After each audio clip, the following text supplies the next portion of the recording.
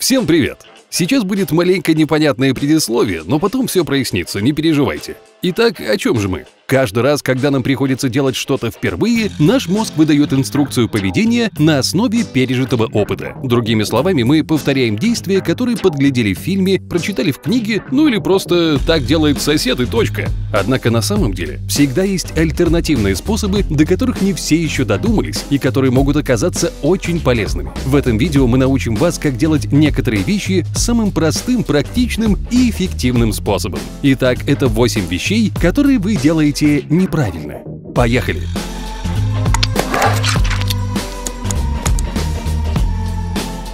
Делай как я.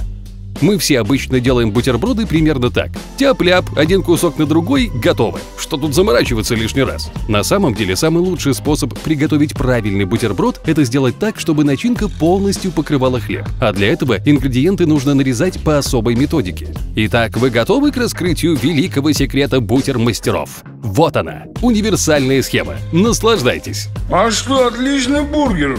Запутанные наушники – Одна из самых больших проблем современного мира, которая наверняка ужасно бесит всех и каждого, это когда мы достаем наушники из кармана, а там какой-то непонятный клубок проводов. Ух, хочется выкинуть это все и наорать на кого-нибудь в придачу. Тихо, тихо, успокойтесь. Есть простой способ решения этой проблемы. В следующий раз, когда вы купите хлеб, не выкидывайте вот эту пластиковую штучку, которой был закрыт пакет, а используйте ее для того, чтобы аккуратно свернуть наушники. Как говорится, вуаля, наушники не спутываются, не нервы в порядке.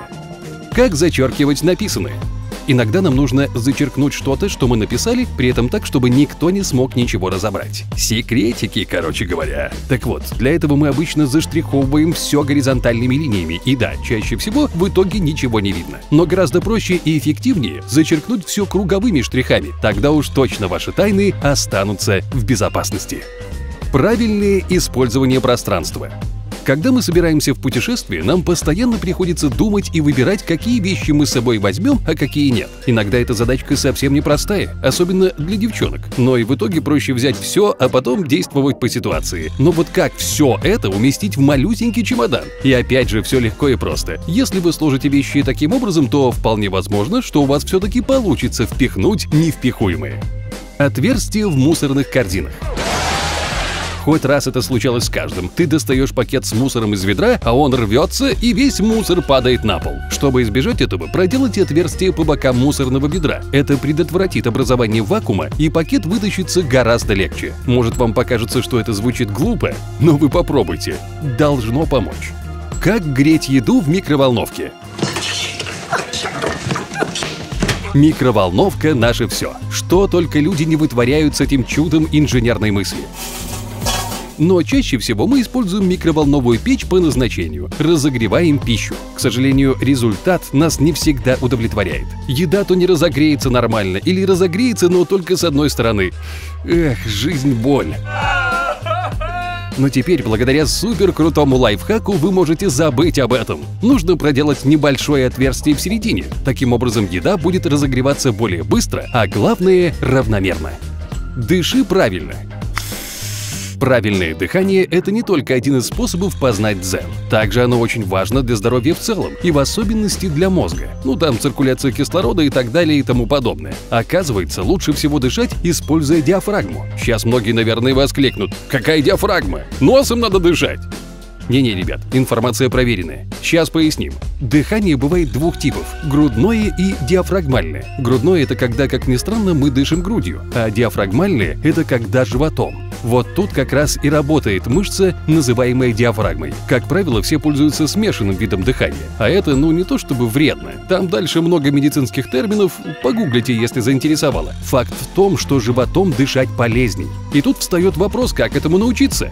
Элементарно. Примите следующее положение, положите на живот что-то типа книги, чтобы не укатилось. И старайтесь максимально поднять этот предмет. Когда вы начинаете дышать правильно, обогащенная кислородом кровь начинает быстрее циркулировать по организму, что положительно скажется на вашем здоровье. Как спрятать верблюжью лапку?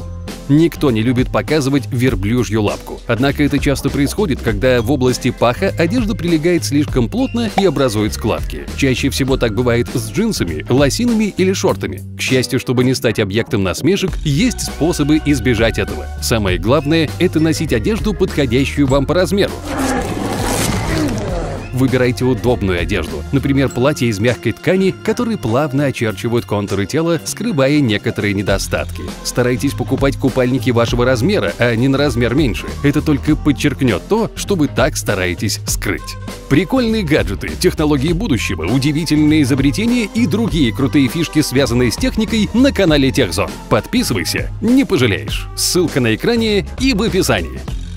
А на этом сегодня все. Моя мастерская – твое настроение.